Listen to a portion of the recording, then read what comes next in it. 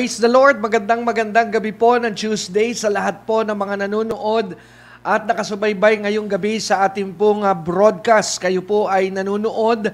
Kasalukuyang nakatune in po kayo sa programa at palatuntunang Strong Foundation, Radio and Internet Teaching Ministry Again, my name po is Brother Dexter Durante po. Kumusta po sa lahat ng mga kapatid po natin, sa mga ka-Bible study natin dyan, sa atin po mga ka-generations of believers that are waiting for the soon return of our Lord Jesus Christ. At syempre, binabati rin po natin ng isang pinagpala at mapagpalang gabi sa lahat po ng ating mga ka-hashtag ka-rapture dyan. Kumusta po kayo? Kumusta na po ang inyong maghapon? Tunay po na napakabuti ng ating Diyos. Tayo po talaga ay nasa countdown na. Ha? Tayo po ay uh, nasa countdown na ng pagtatapos ng taong 2021. Puri, purihin po ang Diyos. Talagang masasabi po natin it is all by the grace and mercies of God. Kaya po natin muling matatapos po ang tinatawag na taong ito ng 2021. Tonight is December 28. Amen. Ilang araw na lamang po hanggang biyernes na lamang ang ating tinatawag na 2021 at sa darating pong Saturday, if I am not mistaken, ay officially tayo po ay nasa bagong taon na. We are about to welcome, amen, the first day, amen, of the year 2022. Pero naniniwala po tayo na meron pa pong mga malalaking gagawin at malalaking ginagawa ang Diyos sa atin pong mga buhay, sa mga nakalipas pong, uh, uh, sa mga araw pa po na darating. Sorry po ha, sa mga araw pa pong darating Meron pa po tayong ilang araw na natitira po ngayon pong taong ito ng 2021 and we are still believing God. Amen? That God is about uh, uh, to show up again, that He is strong and mighty. Amen? Para po sa atin na mga naniniwala at nagtitiwala po sa kanyang mga salita at kanyang mga pangako. Kaya magandang magandang gabi po sa lahat ng mga kapatid, Luzon, Visayas at Mindanao. At gaya nga po ng ating pagbati, ito po rin ay kasama sa aming dalangin na ang pagpapala ng Panginoon, ang shalom, amen, ng Diyos ay mapa sa inyo at inyo pong maranasan. At siyempre, hindi lamang po ang ating ginigreet na acknowledge sa ating pong broadcast tonight, ay ang mga kapatid po natin na nasa Philippines. Ha? Ina-acknowledge din po natin ang lahat ng ating mga kababayang Pilipino at kapatid sa Panginoon na nasa labas po ng bansa. Pagpalain po kayong lahat ng Diyos sa lahat ng ating mga OFWs, sa lahat po ng ating mga overseas Filipino workers. Amen. Pagpalain po kayo ng Diyos. Saludo po kami sa inyong kabayanihan at patuloy na kayo ay bigyan ng kalakasan ng Panginoon na makapagtagumpay sa mga bansa na inyo pong kinaroroonan. Maging mga kapatid po natin at mga kababayan nating migrant, yung mga uh, nag-migrate na po sa ibang bansa, patuloy po na dalangin namin na kayo ingatan dyan ng Panginoon sa bansang inyong kinaroroonan. Amen? At salamat sa Diyos dahil tayo po sa gabing ito at sa panahong ating kinalalagyan ay nasa age tayo kung tawagin ay age of technology. Kaya nga po, dalawang platform po ngayong gabi ang inyo pong uh, nagiging source para po mapanood ninyo ang ating pong Bible study. Number one, maybe you are watching us through our YouTube channel. Ano po sa, sa Dexter Dorante channel. Dahil ito pong YouTube, ito pong channel na ito ay atin din pong ginagamit dahil ina-accommodate, in-anticipate po natin yung ating mga kapatid sa pananampalataya at maging mga kaibigan natin na gusto po nating ma-invite sa Bible study online na wala po silang Facebook account. Kasi nga po, uh, hindi po lahat ng tao sa ngayon ay merong Facebook account. Pero majority na po ng mga tao sa ibabaw ng planeta natin ngayong oras na ito ay meron pong tinatawag na access to internet. Amen? Kaya nga po sa mga kababayan natin na walang Facebook account, atin po silang uh, nire-redirect, amen, na sila po ay uh, panoorin tayo, subaybayan po tayo gamit po ang tinatawag na uh, YouTube channel, amen. At hinihikayat nga din po natin ang mga kaibigan natin sa Panginoon na naniniwala at nagtitiwala sa broadcast na ito na ito po ay ginagamit ng Lord para po sa kanilang spiritual growth. Ano po? Na sila po ay uh, magkaroon ng tinatawag na pagsishare, ano po, pagbabahagi ng uh, atin pong ginagawang broadcast either via Facebook, amen, or by words of mouth kasi hindi naman ata ma-share sa sa mga walang Facebook ang ang YouTube. Amen. So uh, the only way around para po ma ma-invite natin yung atin po mga kaibigan na wala pong Facebook account is to talk about, amen, to tell them about our ministry. Ano po, kaya nga po sabi nga ng ating hashtag, we are blessed to be a blessing. Kaya kung kayo po ay nabibless ng ministry, kayo po ay napapagpala at may mga naidaragdag po sa inyong tinatawag na spiritual uh, growth ang ministry ito ng Strong Foundation, then why not share this as well sa inyong pong mga kaibigan, sa inyong mga kapatid sa pananampalataya, sa churchmates po ninyo, office mates, amen, na gusto nyo rin po na sila ay makinabang sa biyaya at pagpapala na inyo pong napupulot at nararanasan sa tuwing kayo po'y nagjo-join sa ating Bible study. Amen? At nga pala ha, kung kayo po ay bago lamang sa ating pong ministry, gabi-gabi po, from Mondays through Friday, tayo po ay uh, nagsasagawa ng Bible study online. Ginagamit po natin ang Facebook at ang YouTube, alas 8 hanggang alas 9 imedya po ng gabi yan. Amen? So sa Facebook po, tayo po ay napapanood sa Biyaya ng Diyos Christian Fellowship Muntinlupa Facebook page. Amen. Kaya kung kayo po ay uh, nasa Facebook, yung BND Church Muntinlupa po ang nag-host niyan. At nga pala ako po ay may kaunting uh, request sa lahat po ng mga kasama natin ngayon na sumusubaybay sa ating broadcast. Ha. Kung hindi nyo po po nagagawa mag-like and subscribe, amen, sa dalawang platform, sa ating Facebook, YouTube, paki uh, do like and subscribe na rin po ang ating page. Wala po yung bayad, amen. At uh, nagpapasalamat na po ako ngayon pa lamang sa inyo po na magpapaunlak uh, dito sa kaunting request na ito. Kung hindi pa po kayo nagla-like and subscribe sa ating pong YouTube channel and also sa ating pong Facebook account. Amen. So right, so tayo po ay uh, magsimula na ng ating pong gawain tonight. And uh, we will be beginning our broadcast, our Bible study proper by uh, means of prayer. Tayo po muna ay manalangin at ating buksan ang ating pong uh, pagtitipon pag uh, sasama-sama ngayong gabi sa pamagitan po ng isang panalangin. Can we pray? Tayo po ay manalangin. O Diyos, mga makapangyarihan, salamat po muli, Panginoon, sa pagkakataong ibinigay mo sa amin na kami po ay maging daluyan at maging gamit mo ang ministry ito upang makapag-minister ka, Panginoon, sa aming lahat ng mga nakikinig at makakapanood ng programa pong ito. Banal na Espiritu, we continue to welcome your presence in our midst as we study your word, as we listen to your words being preached and being taught. Gamitin mo lamang po ako na daluyan. Gamitin mo lamang po akong tool and vessel so that the revelations, Lord, and truths will flow out of my mouth. At iniling ko rin po that every person under the sound of my voice will will have a heart that understand, a spirit that can perceive things that pertains to the, the supernatural.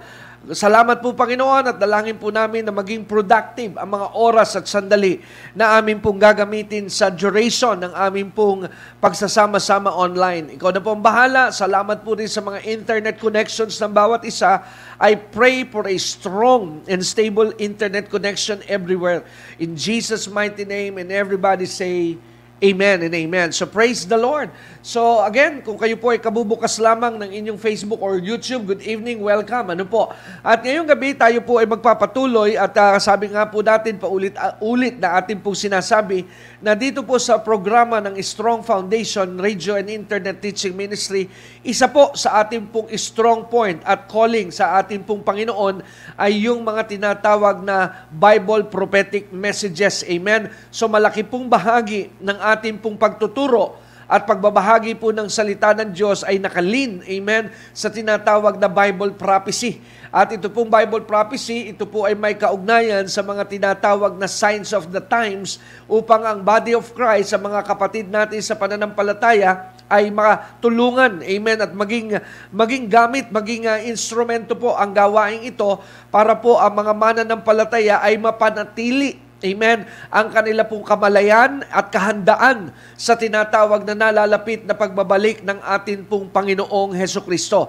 Kaya kung kayo po ay nanonood at sumusubaybay sa ministry, ay madalas po ha, malaking portion po ay ating inilalaan para po i-update ang uh, mga mananampalataya sa tinatawag na mga signs of the times upang maunawaan po ng bawat isa kung nasaang yugto na po tayo sa tinatawag na timetable na itinakda po ng Diyos bago po niya uh, isara at tapusin po ang lahat ng kanya pong mga tinatawag na programa sa kasaysayan ng pamumuno ng tao dito po sa ibabaw ng lupa. Kaya napakahalaki pong bagay at napakahalaga na tayo po ay nagbabantay. Ika nga, sabi ko nga po sa inyo na maraming beses ko na nagamit. Pag ikaw po ay naglalakbay sa isang lugar na hindi ka pa po pamilyar, hindi ka pa po nakakarating doon ni minsan, aasa ka po sa mga tinatawag na signs, sa mga palatandaan at pag ikaw po ay nabigyan ng palatandaan, ikaw po habang naglalakbay ay dapat, amen, na nagbabantay sa iyo pong mga dinaraanan. Dahil ang mga signs na ibinigay sa iyo ang magbibigay po ng tinatawag na pahiwatig at pangunawa na ikaw po ay lumalapit na doon sa iyo pong destination. Wala po yung pinagkaiba mga kapatid sa spiritual signs of the times. Kaya nga po ibinigay po ng Panginoon ang mga palatandaan sa kanyang banal na kasulatan upang ang mga mananampalataya ay hindi po malampasan at hindi po sila magulat sa mga nangyayari at nagaganap sa atin pong kapaligiran. At ang ministry pong ito sa awat biyaya ng Diyos ay naroon sa ganun pong pagkakagamit upang tayo po sa maliit na paraan ay makaambag at makatulong sa inyo na mga kapatid ko kay Kristo na magising tayo at maunawaan natin na tayo po ay nasa panahon na na itinatakda ng Panginoon. Kaya ngayong gabi po, meron po muna ako sa inyong ilang mga, isang pa, ipapapanood. Amen? Sa inyo na isang video clips, ano po, at ito po ay bahagi rin ng Signs of the Times. Kasi nga po sa huling panahon, Amen. Napakarampan po ng tinatawag na deception. At ang mga tao po ay talagang uh, lililangin ni Satan upang ang tao po ay malayo sa Panginoon at magkaroon po sila ng tinatawag na hard heart against God. Amen. At ito po ay sinisimula ni Satan sa pamamagitan po ng kanyang uh, pagpipreach. Amen. Ibig sabihin, nagpipreach din po si Satan. Totoo po ang inyong narinig. Amen. Dahil tandaan po natin, ang pagbabago po ng isang tao ay nagsisimula sa kanyang isipan. At ang mga bagay na sa, nasa kanyang isipan ay nagsisimula sa kanyang mga nakikita at napapakinggan. Kaya nga po may may kasabihan, the entrance of of uh, your life is through your through your e-, ears and through your eyes. Amen. The entrance to your soul, what I mean, is the entrance to your soul is through your eyes and through your ears. Kaya para po mapasok ang ating kaluluwa, ito po ay daraan sa ating mga mata at daraan din po sa ating pandinig. Kaya nga po, ito pong gawain ng kasamaan. Amen, ay pinadadaan ni Satan sa mata at sa pandinig po ng tao. Kaya nga minsan nasabi po ni Jesus ha, hindi po ang nagpapadumi sa tao ay ang kanyang mga kinakain. Tabi-tabi po ha, uh, ako po ay humihingi ng paumanin, baka may naghahapunan ngayong gabi habang kayo po ay nanonood sa ating programa. Pero i-explain po ni Jesus eh, na pag kumain po tayo, amen, ng na natural food, pagdating po nito sa ating digestive system, meron pong idinisenyo ang Panginoon na napakagandang proseso na yung mga tinatawag na unnecessary, yung mga tinatawag na bacterias or yung tinatawag na mga uh, hindi po kailangan, tawag natin dito sa salitang Tagalog, yung dumi ng ating kinain, ipaprocess yon ng ating uh, digestive system, ilalabas na yon.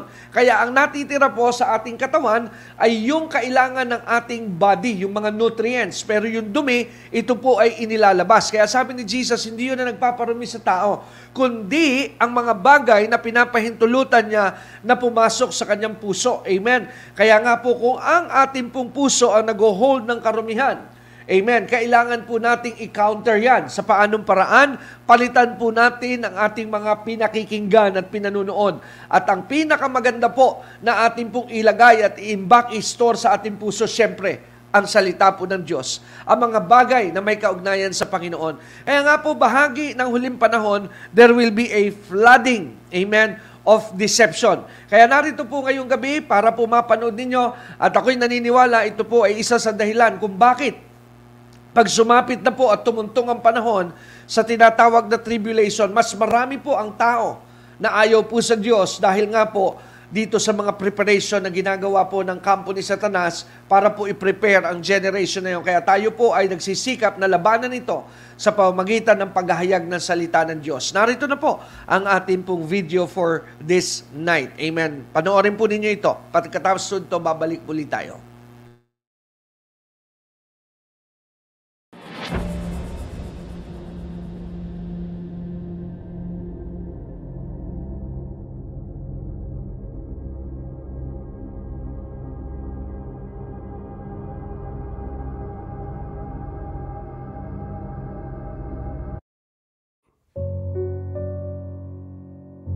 In researching how TikTok works with its algorithms and how it sends content to its users to be consumed, a dark situation regarding young minds was uncovered. You see, when a user first gets TikTok, they are encouraged to press the like button on the very first videos that pop up. And once they hit that like button, well, then TikTok will feed that user videos that they think that user wants to see. Now, if you were the typical 13 year old boy and you log on to TikTok and a pretty girl shows up on your phone and they're saying, Do you want to see more of this? Just hit that like button. What are you going to do? Man, you're going to smash that like button. And as soon as they do that, as soon as they hit the like button on that video of the girl, this is the disturbing experience your child will have on TikTok.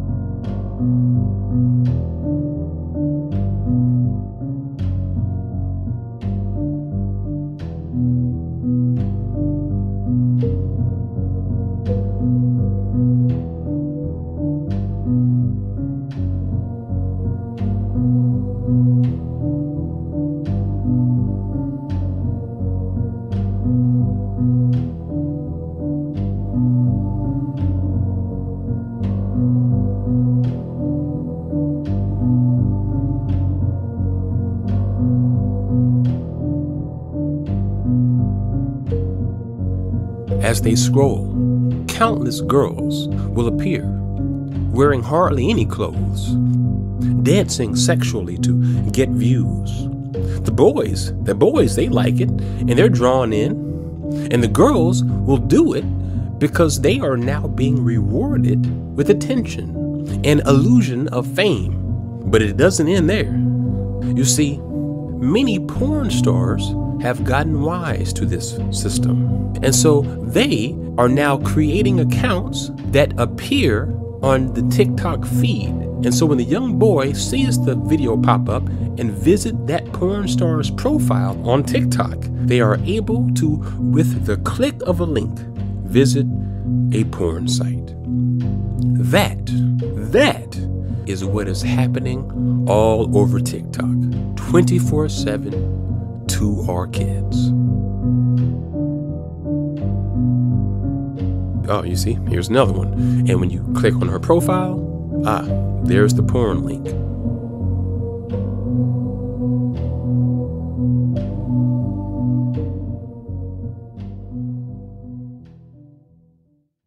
I thank God that I am not a kid growing up in this generation.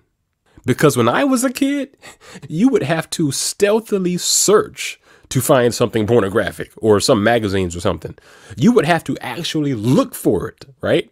But now, a kid goes to TikTok, an attractive model appears on his feed, he clicks a link on her profile, and is taken instantly to a porn site. You see, now your kids don't even have to search for porn. On TikTok, it's searching for them. And even, here's the thing, and even if your kid doesn't visit the porn link, well, they are still lured onto the pages right on TikTok that are still filled with half naked girls. And look at the views on these videos millions and millions of views here, and a big number of those views are from young people. And TikTok is just allowing this to thrive right here freely on the platform until they somehow clean up this algorithm that entices young people to follow porn stars, we are going to continue to share this video and sound the alarm on this to everyone we can. Every parent needs to know what is going on with TikTok.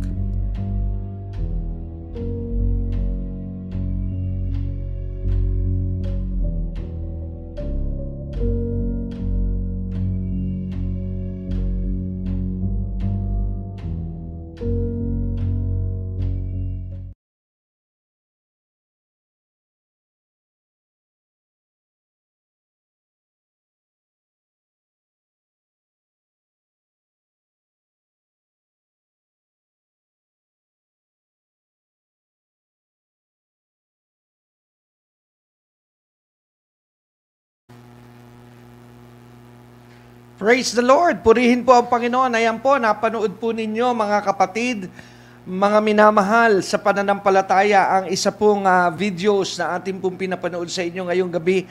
At ito po ay may kaugnayan ano po sa tinatawag na mga atin pong nararapat na pagbabantay na ating gagawin bilang mga magulang. Ano po, lalo na kung kayo po ay mga magulang sa atin pong mga anak. Amen. Alarming po yung video ano kasi ito po ay isang uh, popular na application na na ginagamit po ngayon ng napakaraming kabataan, I suppose, ano po, dahil uh, bihira na po ang mga may edad. Ano po, meron din, pero bihira na, ano, hindi ganun karami. Ano po, personally, ako po ay hindi nagti-TikTok. Amen. So, ngayon po, itong TikTok application, ito po ay uh, very popular sa atin pong mga bagong generation ng mga kabataan po ngayon.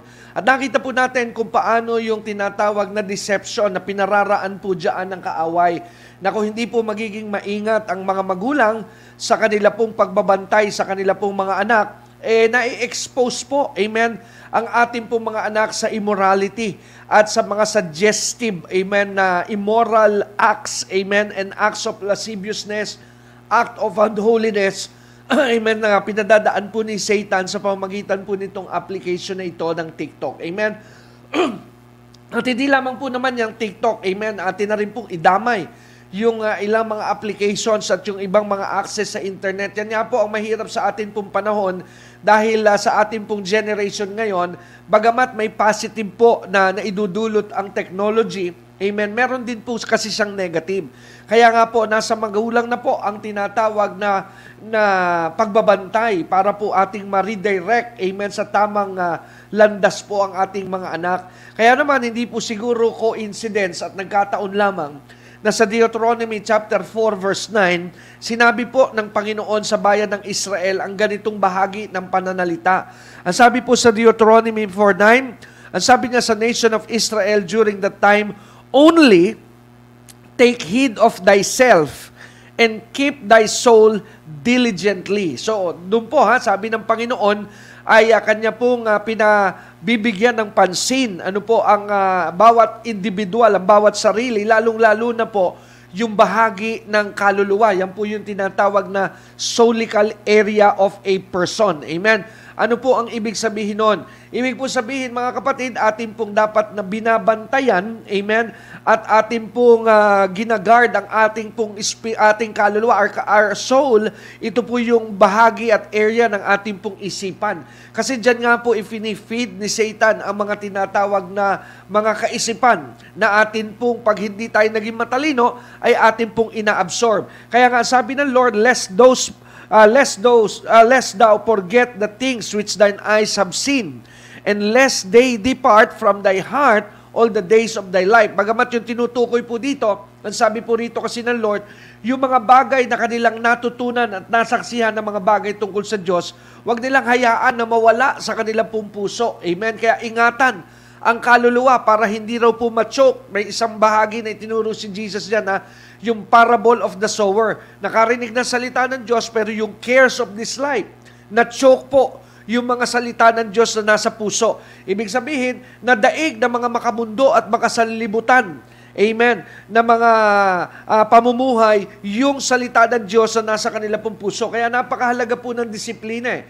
Disiplina sa sarili na tayo po ay merong panahon at malaking panahon, hindi lamang merong panahon, ha, malaking panahon ay atin pong inilalaan sa tinatawag na pakikinig ng salita ng Diyos. Because every time na tayo po ay nakakapakinig ng salita ng Diyos at nag-aaral ng kanyang salita, nababago po ang atin pong tinatawag na kaisipan kaya nga sabi ni Paul sa Romans, Be ye transformed by the renewing of your mind. Kasi nga po mga kapatid, ang struggle po natin bilang Christian ay yung mga laman ng ating puso, yung laman ng ating isipan. Sapagkat imagine, kung ikaw po ay 50 years old na, nung naisuko mo po ang buhay mo sa Panginoon, imagine, 50 years, the world is being uh, your influence. The world is uh, giving too many suggestions into your soul, into your spirit that those suggestions coming out from the world, amen, ay yan po ay uh, inflicted. Amen. Ibig sabihin po na bahiran at may mga kasama po na mga evil suggestion. Yan po ang iyong mga naging gabay sa iyo po mga decision making. And now na ikaw po ay nakakilala sa Panginoon, siyempre you are not used to the principles of God kasi bago ka lamang eh. Ngayon ka pa lamang nakakakilala sa Lord. Ngayon ka pa lamang na-expose sa mga bagay na mga Diyos. Kaya nga po, mahalaga yung disiplina na tayo po ay nakikinig at patuloy na nag-aaral po ng salita ng Diyos para mabago ang mga laman po ng ating puso at isipan.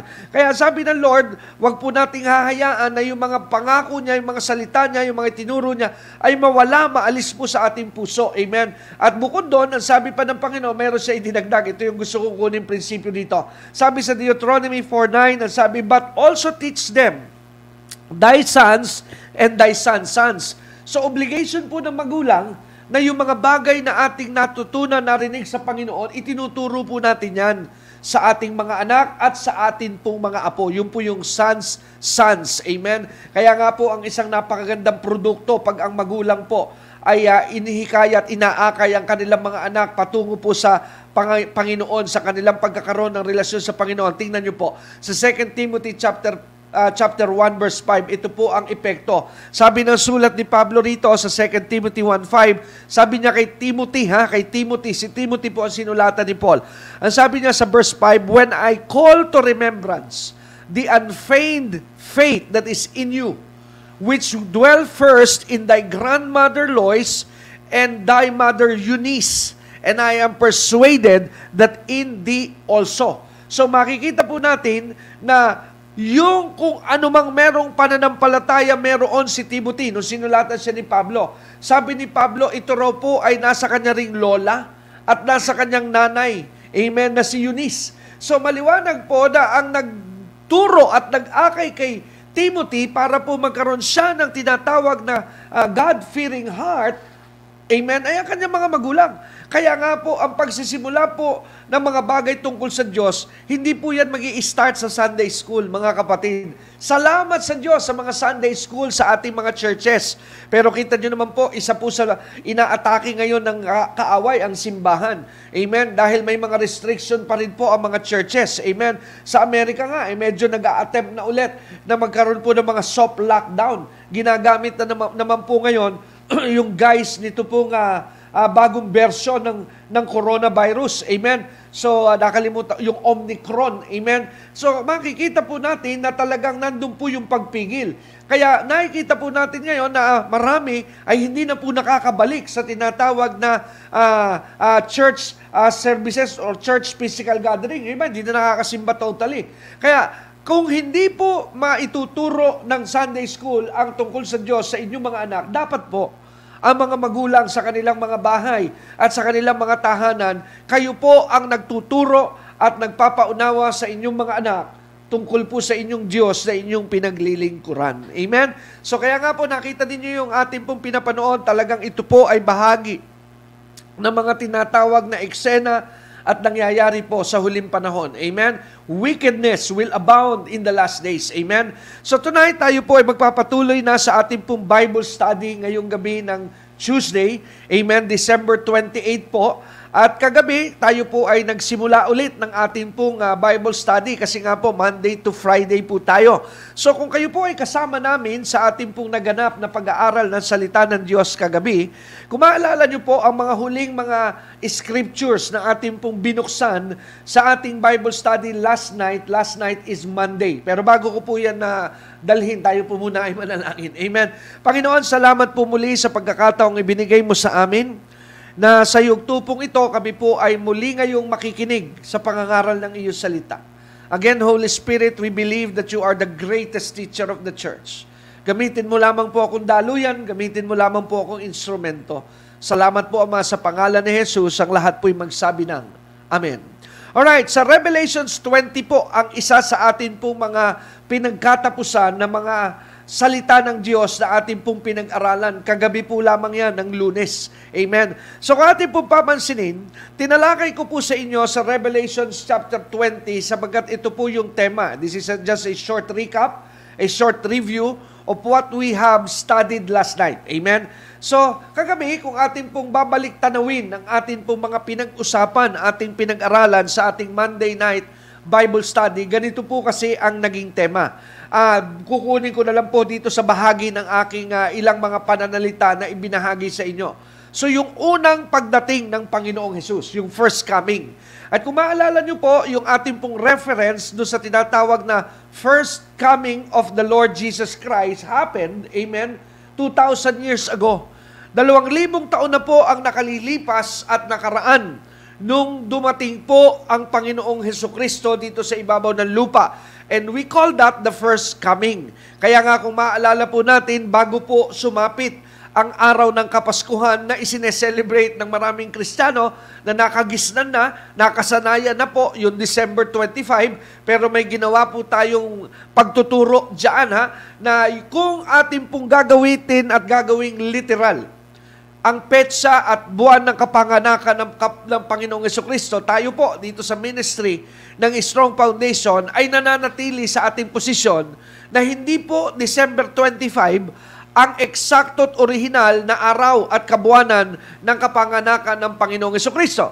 Pero maliwanag din po ang stand ng ministry ito na kahit hindi po ito yung eksaktong buwan at yung eksaktong araw, hindi po tayo humahad lang sa celebration ng Pasko sapagkat tayo po ay naniniwala that we don't worship God on a day, but we worship the God of the day.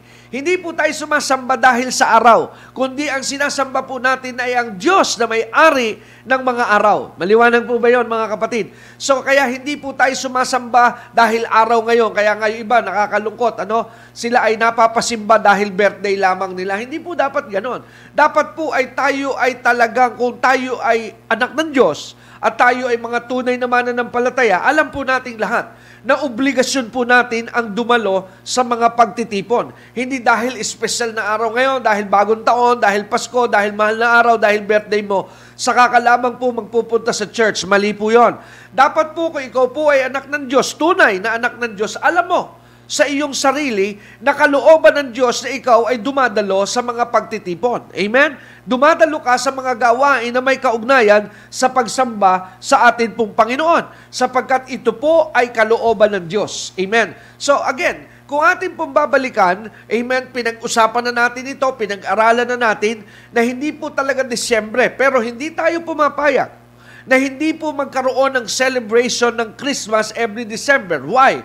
Because we don't worship the day, amen, though it is not the real month and real day, but the message, amen, is what we are protecting. What is the message? The message is the love of God, amen, to, uh, through, to humanity. Yung pag-ibig po ng Diyos sa sangkatauhan ay atin pong ipinalalaganap atin pong ipinagsisigawan, atin pong pinagngangalandakan sa tuwing sumasapit po ang Kapaskuhan. Amen. Atin pong nais na ipaunawa at iparinig sa buong mundo na si Kristo po ay dumating. Ito po ay bunga ng pag-ibig ng Diyos Ama sa sangkatauhan at ang kanyang pong demonstrasyon ng kanyang pagmamahal ay ang kanyang pag-aalay at pagbibigay ng kanyang kaisa-isa't bugtong na anak para po bayaran ang kaligtasan, bayaran ang tinatawag na kasalanan ng tao at sino mang sasampalataya sa natapos na gawa ng kanyang anak na si Yesu Kristo at sasampalataya kay Jesus ay meron pong tinatawag na guarantee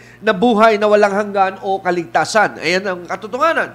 Ngayon, kaya yun po yung first coming. Kaya nga isa po sa scriptures na ating ginagamit dyan ay yung prophecy sa Isaiah chapter 9 verse 6, For unto us a child is born, and unto us a son is given. Ayan, ano po. So, sa atin ipinagkaloob ang isang anak, at ang, uh, ang isang, uh, uh, ito po yung biyaya, a son is given, a child is born. Binigay po sa atin. Sino po yon? Si Jesus Christ po yan, mga kapatid. Amen. So, yun po yung first coming.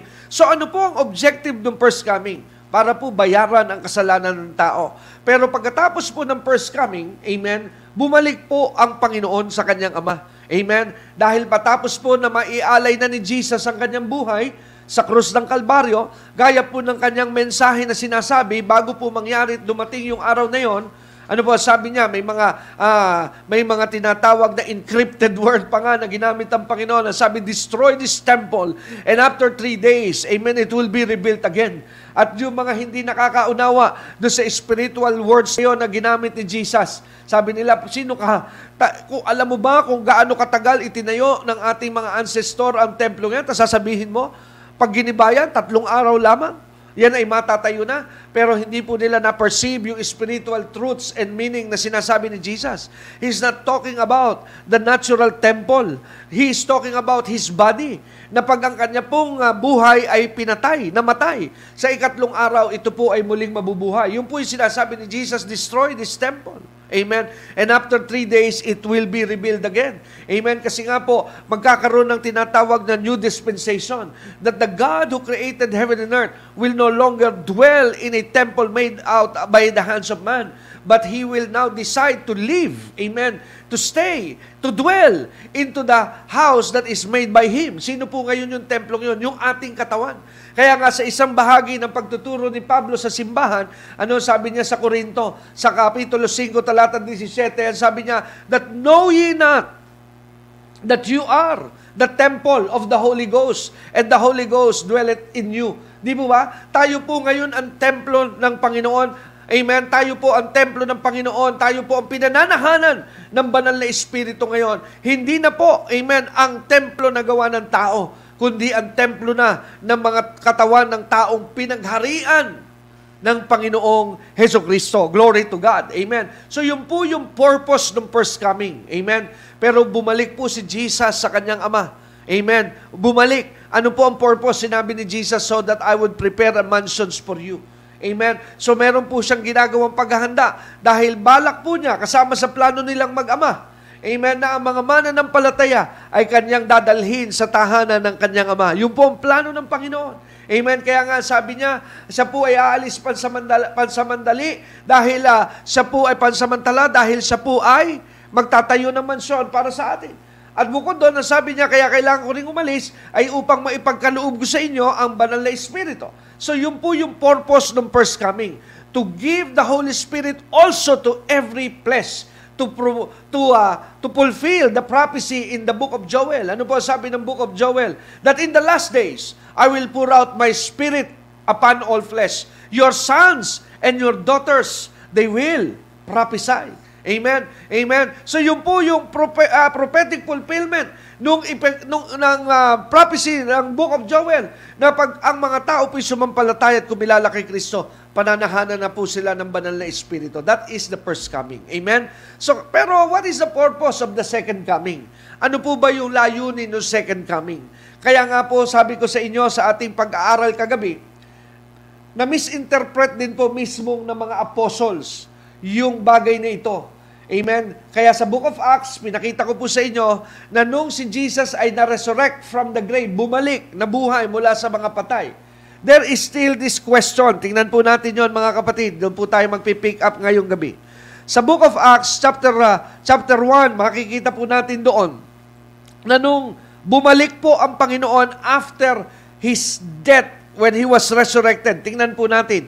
Nung kasama po niya ang kanyang mga alagad, amen, dito po sa bahaging ito, amen, makikita po natin na ganito pa rin po ang kanila pong nasa isipan. Amen, nasa kanilang isipan nung makausap po nila ang Panginoong Heso Kristo. Ang sabi po rito sa verse 6, ano po, tingnan po natin, dumiretso tayo sa Acts chapter 1 verse 6. When they, referring to the disciples, amen, that will be, some of them will be the apostles, therefore were come together, nung magkasama-sama na po, ang mga uh, disipulo ng Panginoon after po ito na resurrection, ha, may ganito po nangyari.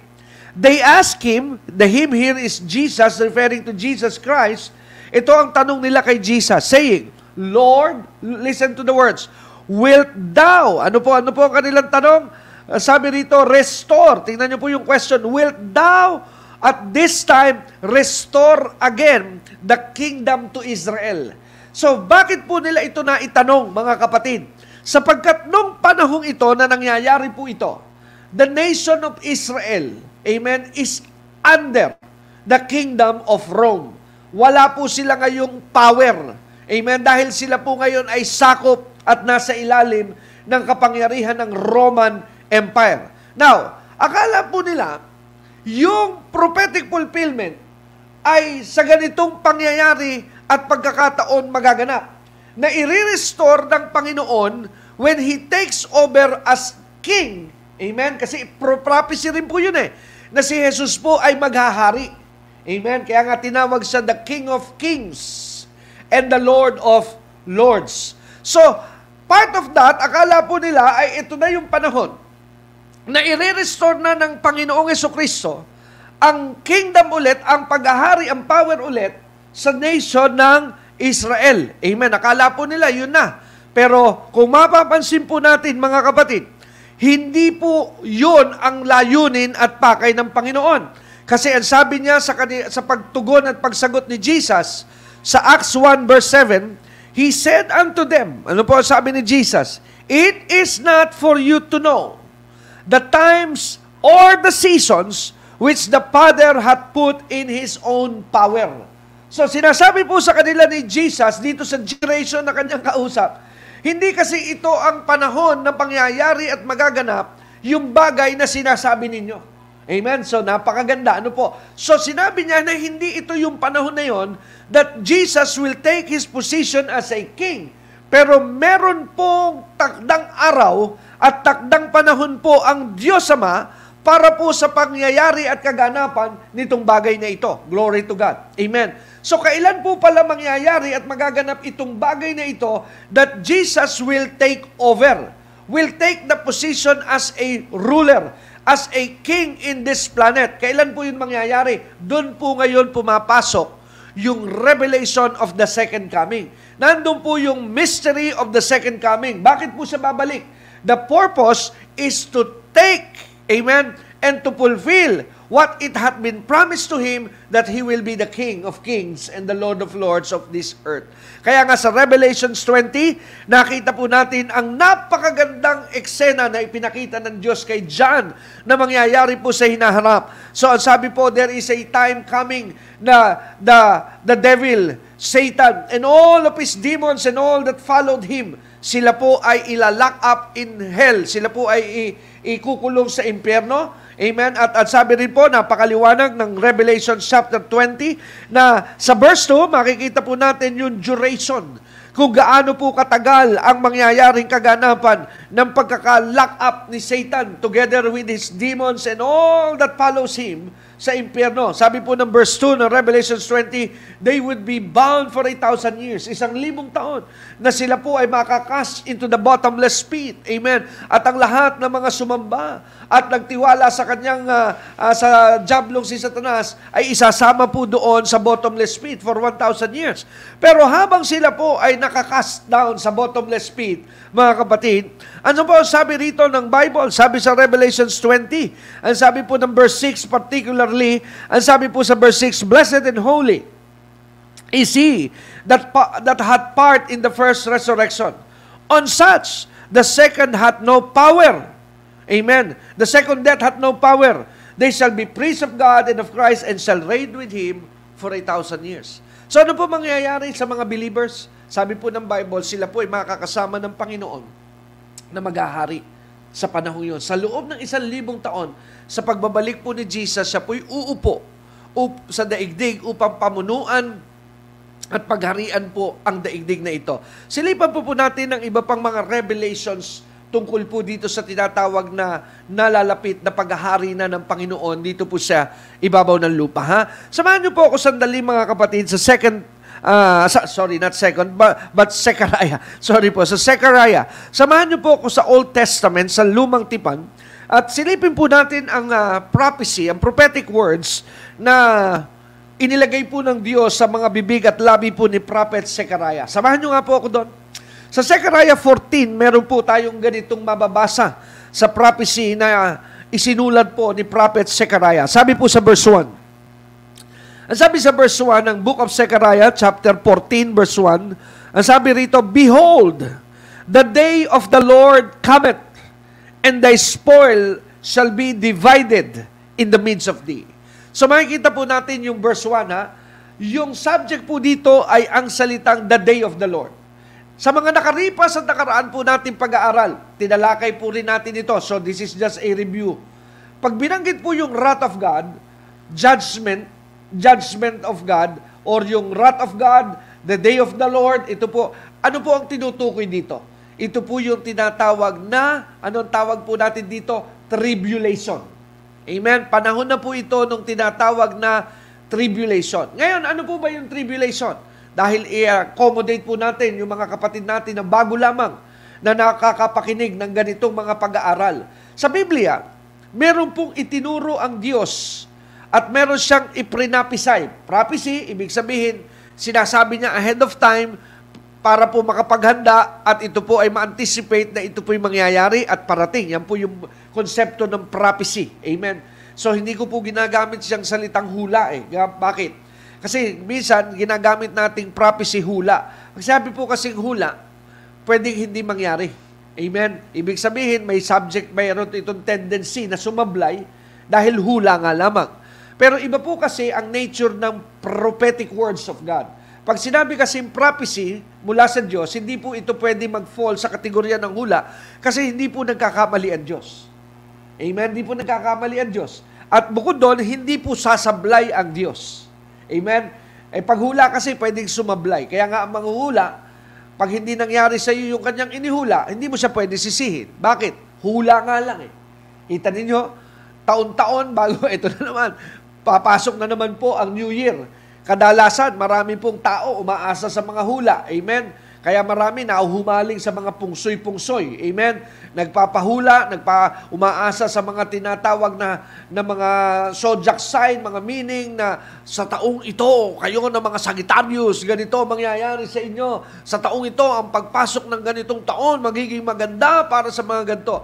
Aba eh, makikita naman natin, balik tanawin ninyo yung mga nanghula sa telebisyon nung taong 2019 at mapasok ang taong 2020, magaganda hula nila eh. Sa mangyayari sa taong 2020, balikan ninyo, hanapin ninyo, baka nasa YouTube pa yon. Yung mga humula na mangyayari daw po sa taong 2020, gaganda ang buhay. Gaganda ang takbo, ang negosyo. Amen. Kayo ang negosyo, ganda takbo. Amen. Ganun na mangyayari. Amen. Pero ang katotohanan, sumablay. Bakit? Hindi nila nakita merong COVID-19 merong coronavirus na dumating. Ano nangyari sa maraming negosyo? A pangit at takbo. A dami asara. Glory to God. So, yun po yung nangyari. Kaya pag sinabing hula, hindi pwedeng, hindi ito 100% na ito po yung mangyayari. Hula nga lamang eh. Pwede ba natin ngayong paggalitan yung mga humula? Hindi. Bakit po? Dahil sasabihin nila sa atin, hula ko nga lang eh. Amen. Hinulaan ko lang. So, di, di, di ba pag sa, sa, sa exam, nagagamit yung salitang hula Nasagutan mo ba yung mga tanong sa eksaminasyon? Oo, hinulaan ko. Amen? So pag sinabi hinulaan, pwedeng tama ako doon, pwedeng mali. Pero iba po ang prophecy. Amen? Ang prophecy, pag sinabing prophetic words of God, hindi po ito pwedeng magkamali. Hindi pwedeng sumablay ang Diyos. 100% prophecy of God will always come true. Hindi 99.9, but 100%. Did you hear me? Pag sinabi po ng Diyos, mangyayari po at magaganap. Kaya dito sa Zechariah 14, makikita po natin yung prophetic words, prophecy pa po ito. Hindi pa ito nangyayari, pero mangyayari ito. Ang sabi sa verse 1, The day of the Lord cometh. Parating daw po ang day of the Lord. And thy spoil, sabi sa Zechariah 14 verse 1, shall be divided in the midst of thee. Amen. So, ikwento po rito sa panahon ito ni Zechariah pa lamang how it's gonna be in the end. Because if you would continue reading, sabi sa verse 2, I will gather all nations against Jerusalem to battle and the city shall be taken down. Ito yung Armageddon War, mga kapatid na tinutukoy po dito sa verse 2 ng Zechariah 14. Kasi may ganito pong senaryo na nasa Revelations din, na magkakaroon po ng malaking digmaan dyan po sa isang bahagi ng lugar sa Israel na kung tawagin ay Megiddo. Amen? At marami po mga Bible scholars and prophetic Bible teachers, pinupuntahan kung minsan yung Megiddo na yan. Amen? Pag tiningnan nyo po, eh, ang ganda po kasi ng ating panahon ngayon, dahil nga po sa technology, pwede nyo i-search na sa YouTube yung lugar sa Israel na kung tawagin ay Migedo. Amen. Ngayon, ito pong Migedo, hindi ko lang alam kung kayang ihabol ng ating pong uh, tinatawag na uh, director. Pwede kung may image sa makikita sa, uh, sa Google, sa internet, yung uh, lupain ng Migedo. Ano po, yung the land of Migedo. Para lamang po ma-visualize ninyo na mga nanonood sa atin ngayon pong uh, gabi ito. Kasi itong Migedong ito sa Israel, ito po ay isang empty place, parang valley type, parang desert desert place ano po sa sa lugar sa Israel. Amen. Na until now as we are talking about this and speaking about this, hindi pa rin po ito developed region dyan sa Israel. Ito po ay isa pa rin desert place, ito pa rin ay isang open place, napakalawak po lugar. At marami po mga uh, uh, Bible teacher na nagsasabi, it's a very good place for war. Isang napakagandang lugar na pagdausan ng tinatawag na digmaan. At true to Bible prophecy, yan po ay isa talagang lugar na itinakda at inihanda para po sa tinatawag na Bible prophecy. Yan po ay itinakda sa tinatawag na Bible prophecy for this great war. Ano po? Great war po mangyayari dyan. At dyan po mangyayari yung napakaraming tao. Mga nations na maglalaban-laban, magyegera po sila dyan. And according to the Bible, yan pong lugar na yan ay magkakaroon ng baha. Pero hindi po tubig ang babaha dyan sa tinakdang panahon ng Diyos. Dugo. Dahil dyan sa lugar na yan, dadanak po ang dugo at ito po ay nakalimutan ko lang yung eksakto sukat ng taas ng dugo na magiging kama, magiging uh, babaha dyan dahil sa dami po ng mga taong mamamatay dyan sa lugar na yan. Kaya nga po, nakita nyo na po, siguro na-post na, na ah, hindi raw po na ipakita. So, sorry po. So, next time, pakita. But you can also also look it out sa inyo pong uh, uh, internet. I-google nyo lang po yung Megiddo. Amen? So, sabi po sa verse 2, let me move on. Ang sabi sa verse 2, For I will gather all nations against Jerusalem to battle. And uh, ayan, nandyan na raw po na, na ipinost na niya. Yan, makikita nyo yung Megiddo. Ano po?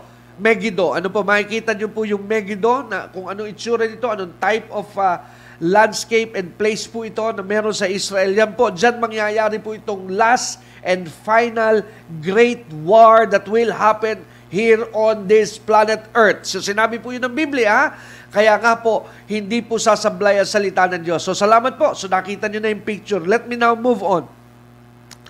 Ang sabi sa verse 2, I will gather all nations that will happen in there against Jerusalem to battle the city and shall be taken in the house. So makikita nyo po yung gerang yan.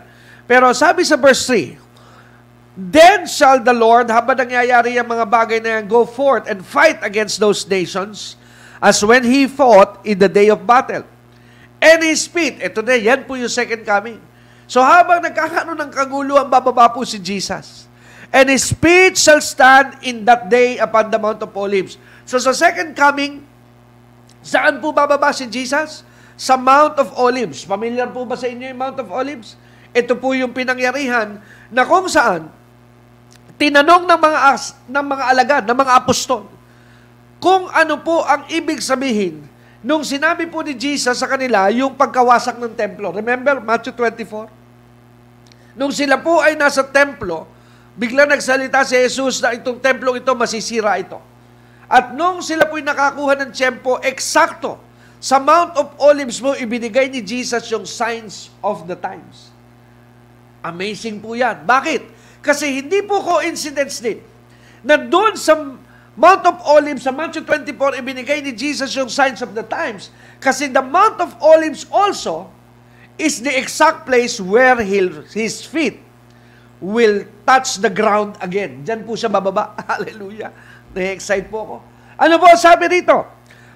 Habang nagkakaroon ng kaguluhan sa Israel, nagkakaroon ng kaguluhan between the battle of Armageddon together with the Antichrist and his host, bababa po si Jesus. And his feet shall stand in that day upon the Mount of Olives, which is east, amen, which is before Jerusalem on the east. And the Mount of Olives shall crave, describe po dito ni Zechariah, kung how it's gonna be. Pag bumaba po si Jesus, sabi, shall cleave in the midst thereof, towards the east and towards the west. And there shall be a great valley of the mountain shall remove to magkakaroon ng pagkakabiyak po yung, yung bundok. Amen. At ang sabi po rito, kung ating mapapansin, mga kapatid, para hindi na po, hindi tayo lubusan at lubhang uh, tumagal dito sa mga ilang mga detalye rito sa Zechariah 14, magdadrop down na lamang po ako dito po sa bahagi ng verse 9. So pagkatapos po ng mga senaryo, pagbalik ni Jesus, kasi maraming mangyayari. Ano po? Maraming mga movement din, may mga earthquakes na mararanasan sa ibabaw ng lupa when the King of Glory is coming. Amen? So pero pagdating po niya sa daigdig, ito po kasi ang kanyang gagawin. Tingnan niyo po sa verse 9. This is the purpose of the second coming. Ano po yung purpose? At sabi rito sa verse 9 na Zechariah 14, read it with me. Ano sabi ng verse 9? And the Lord. Anong gagawin po? The Lord. Who is the Lord? Jesus shall be king. Hallelujah. Over all the earth. And in that day, there shall be one Lord and His name is one. So pagdating daw po nung araw na yon, magiging, magiging hari na po sino? Si Jesus. At isa na lamang po ang magiging pinuno ng buong daigdig. Amen? Isa na lang. Kaya nga po, yung attempt ng Antichrist na magkaroon ng one world government, ito nga ginagawa niya. Ito nga mga attempt to have a one world religion, one world government. Kasi nga po, tinitrick niya ulit ang tao na siya po ang katuparan ng Bible prophecy na paghaharian ng isang tao ang buong daigdig. Pero hindi po ganoon. Kasi pag naghari na po yung isang tao na yon sa buong daigdig, Aalisin po niya ang lahat ng kasamaan. Aalisin po niya ang lahat ng kampo ng kadiliman. Amen. Kaya iwa-wipe out, aalisin po ang lahat ng element of wickedness and demonic presence pag siya po'y naghari. Kaya totally magkakaroon po ng fullness of quietness and peace and prosperity ang ibabaw ng daigdig sa araw na yon. Bakit? Because Jesus will be the King overall, siya po ang magiging hari. Siya po ang maghahari dito sa ibabaw ng daigdig. Kaya kung ito po i-cross-reference natin, yung prophecy sa Zechariah at Revelations 20, eksakto po. Dahil ang sabi po rito, ti, pi, uh, pinakita po kay John yung mangyayari sa dulo. Dahil ang sabi, going back, Revelations 20, verse 6, ano po mangyayari? Blessed and holy is he that had, uh, uh, part in the first resurrection. On such, the second death hath no power, but they shall be priests of God and of Christ and shall reign with Him for a thousand years. So ano raw po mangyayari dito? Maghahari na po ang Panginoon. For how many years? For 1,000. Pero sino po ang sinasabihan dito ni John ng Word of God? Actually, sorry, ang sinasabihan ng salita ng Diyos through the prophecy that was spoken by John, that was given to him by Jesus. Sino raw po ang mga mapalad? Sino ang mapalad? Sino raw po ang pinagpala? Sabi po ni John, atin po talakayin dito at bigyan natin ng oras at panahon sa ating natitirang oras ngayong gabi ng Tuesday. Ha? Sabi po dito ni John sa verse 6, sino raw po ang mapalad?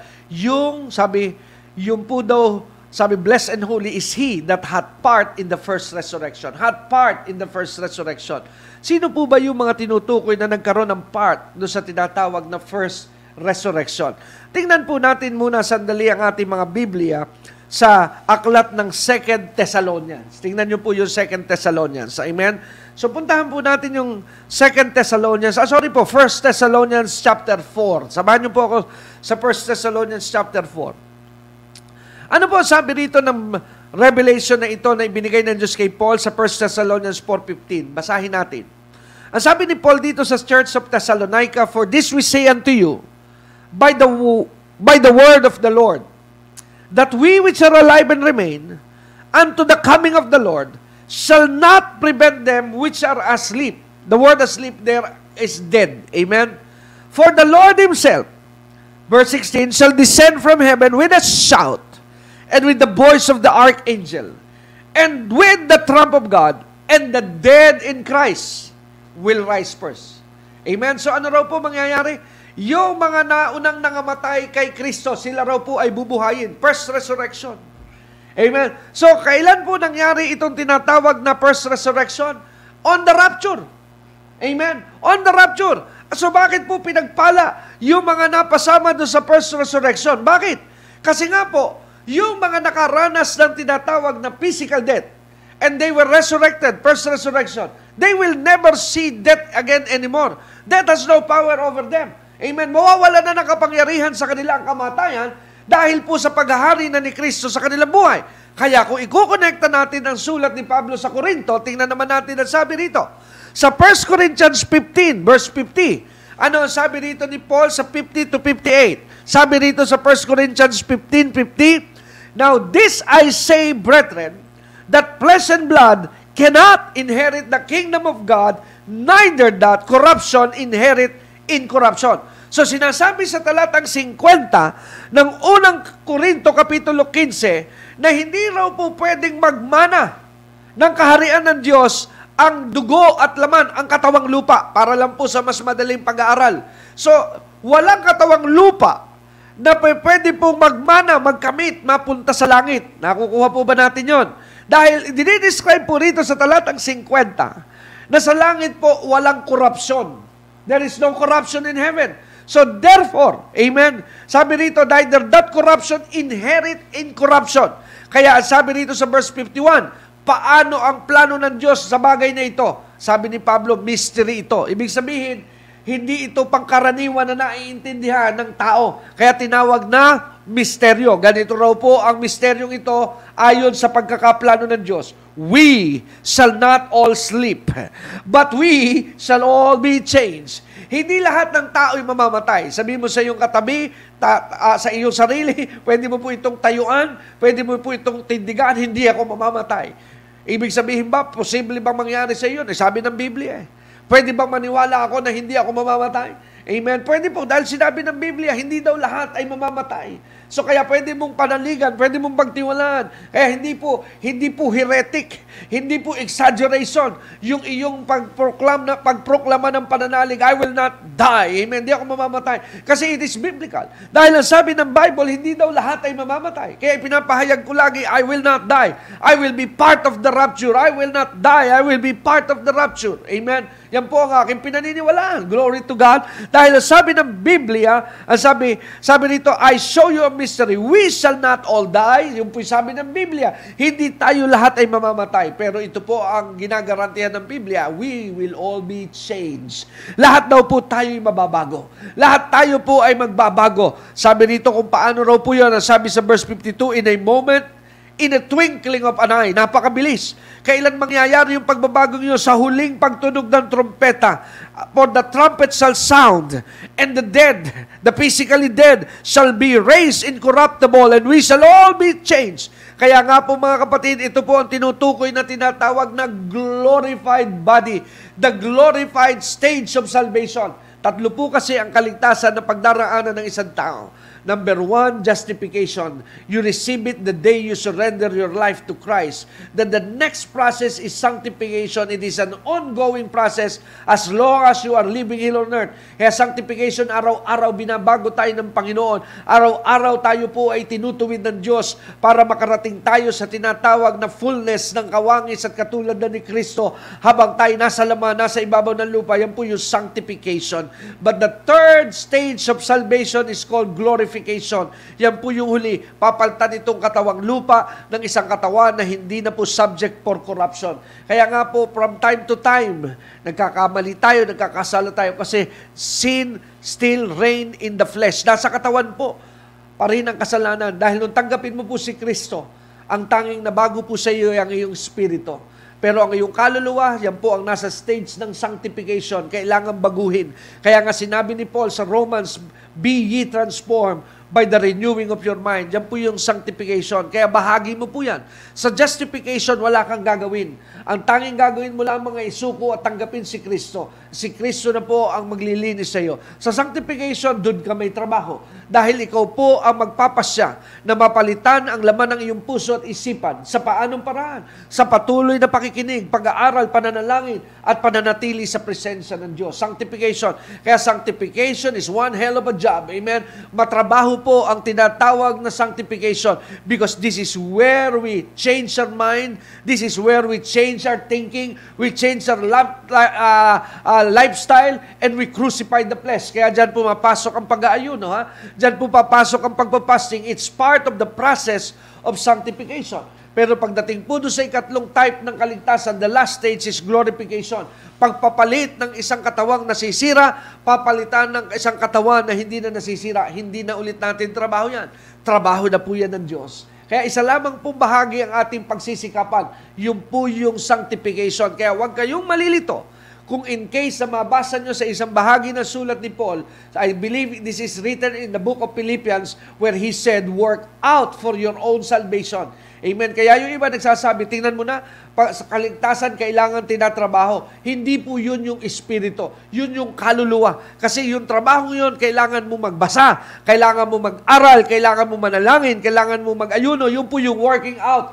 Dahil you are disciplining, you are changing your soul. Amen. So that your body will not dominate. Amen. Kasi ganito po ang proseso. Your body will dominate you if you don't discipline and train your soul. Kasi ang katawan po may boses, may gusto rin yan. Pero hindi siya makakaporma pag ayaw po ng isipan. Kaya nga yun yung tinatawag na willpower.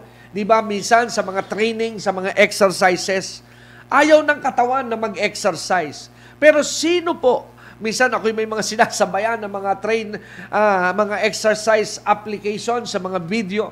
Natutuwa ako. Kasi may mga motivation sila na, oh no, I know by this moment, sinasabi ng trainer, dahil nasa gitna ka na ng exercise, I know your body is screaming, stop, I quit.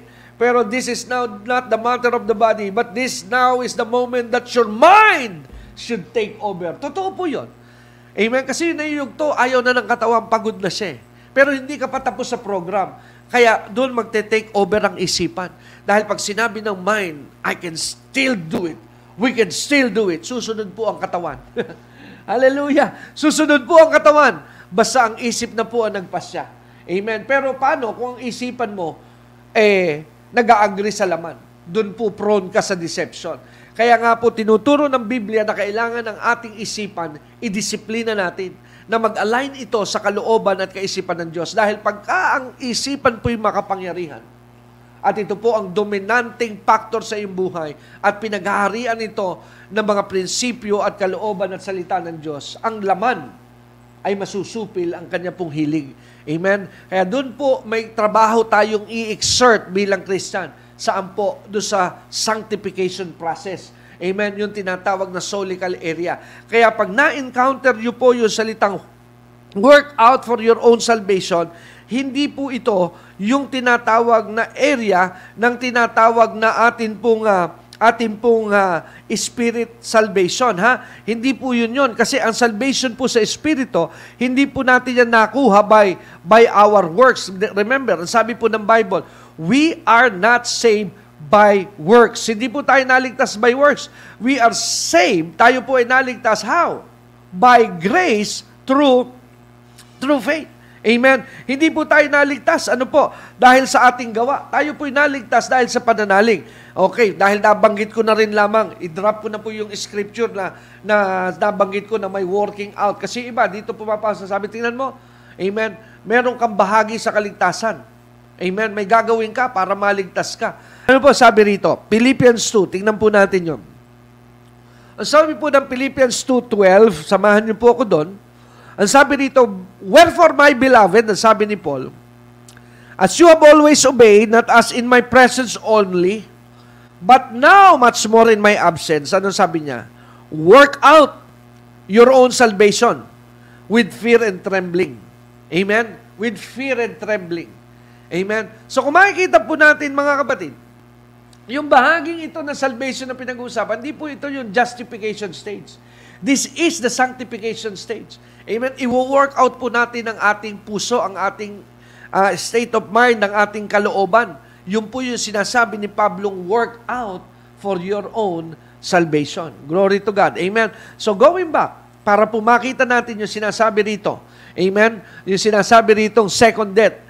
Kailan po mangyayari ito? Sa rapture Well, yung first death kasi, doon sa mga nakasama doon sa tinatawag na first resurrection sa sa Revelations na nakita natin sa Revelations 20 verse 6, the first resurrection that happened on the rapture. Dahil pinalta na tayo ng bagong katawan. Incorruptible na ang ating katawan. Kaya sabi dito ni Paul, sabi dito sa verse uh, 54, So when this corruptible shall have put on incorruption, and this mortal shall have put on immortality, then shall be brought to pass the saying that is written, O death is swallowed up in victory. Wala na raw pong kapangyarihan. Talunan na ang kamatayan. Kaya sabi niya sa verse 55, O death, where is your sting? O grave, where is thy victory? Amen? So bakit po wala ng power on death, yung second death na tinatawag? Because we are already glorified. Amen? Wala na pong power ngayon ng kamatayan. Kaya nga po, yung mga na-rapture, Amen? yung mga napasama doon sa rapture na tinutukoy dito sa 1 Thessalonians 4.15, amen, na makakasama doon at maging yung tayo ng mga buhay, tayo rin ay papaltan, amen, ng katawan na hindi nasisira, amen. Hindi na po tayo subject to death. Bakit po ito mahalaga? Bibigyan ko lang kayo ng konting clue and we'll continue again our Bible study tomorrow. Kasi nga po, mga kapatid, meron pa rin pong mga maliligtas sa duration ng tribulation. Ang tawag po dito, tribulation saints or tribulation believer. Ngayon, dahil po sila ay tribulations believer, amen, hindi po sila aakyat ng langit para ma-rapture. Sila po ay tatawid sa pitong taon na tribulation dito sa ibabaw ng lupa, glory to God, at sa pagbabalik ni Kristo, makikita nila rin ng literal na bumababa si Kristo. Pero hindi sila mapapasama do sa mga wawasakin at ila-lockdown sa tinatawag na bottomless pit because they are believers. So dahil hindi po sila umakyat sa langit, amen, kunin niyo yung kwento ha, I will be explaining this tomorrow, so you should be back tomorrow night, amen. So sila po hindi umakyat sa langit dahil dinatnan na sila ng second coming. Hindi po sila dumaan doon sa prinsipyo na tinutukoy sa 1 Corinthians 15. Dahil yung 1 Corinthians 15, 50 to 58, at yung 1 Thessalonians chapter 4, amen, 15 to 18, ito po yung mga raptured saints, yung mga na-rapture. Kaya mahalaga na tayo makasama sa rapture. Bakit? Kasi doon po magkakaroon tayo ng tinatawag na glorified body. Pero kung sa tribulation ka maliligtas at daratnang ka ng second coming but you are saved, you will not possess what we call a glorified body. Kaya yung mga may meron pong physical body pa rin sa second coming ni Jesus, they still has death in their body. May kamatayan pa rin po ito. Kaya ito rin yung mga individuals na magre-reproduce ng tao. Kaya magkakaroon ulit ng repopulation ng earth sa isang libong paghahari ni Kristo dito sa ibabaw ng lupa. Sino po ang mga magiging tool at gamit para po magkaroon ulit ng mga tao sa ibabaw ng lupa magkakaanak, eh di yung mga hindi nagkaroon ng glorified body because those that have not received the glorified body, they can still have a sexual relationship with each others. Pero yung mga nagkaroon ng glorified body, wala na po ito at dito po tayo magtatapos na ngayon pong oras na ito. So mga kapatid, wala na silang kapangyarihan pa mag-reproduce. Tayo po ay magpasalamat sa Panginoon. Salamat po Panginoon sa oras na aming nagamit sa aming pakikinig at pag-aaral po ng iyong salita. Salamat dahil tunay po na ikaw ay napakabuting Diyos. Sa iyo ang lahat ng parangal, papuri at pagsamba. Mga kapatid, salamat po sa inyong pagsama sa ating Bible study ngayong gabi ng Tuesday. Pagpalain po tayong lahat ng Lord. At again, nagpapasalamat po ako sa lahat ng mga tumutulong po sa amin. Salamat po sa lahat ng mga kapatid na talaga namang bukas palad na tayo po hindi po binibitiwan at talagang sumusunod sa kalooban ng Panginoon na tayo suportahan in terms of finances. Salamat po sa inyo. Salamat at patuloy na kayo ay nagiging partners namin para po maipagpatuloy ang misyon, ang paghahayag, pangangaral ng salita ng Diyos. At kung hindi pa po ninyo nararanasang tumulong sa gawain ito, pagkatapos ko po magsalita, nandyan po ang mga information on how you can be a partner. Amen. Kung paano kayo makakatulong makakatuwang sa gawain upang maituloy po natin ang misyon. Again, the gospel is free. Wala pong bayad ang ibanghelyo.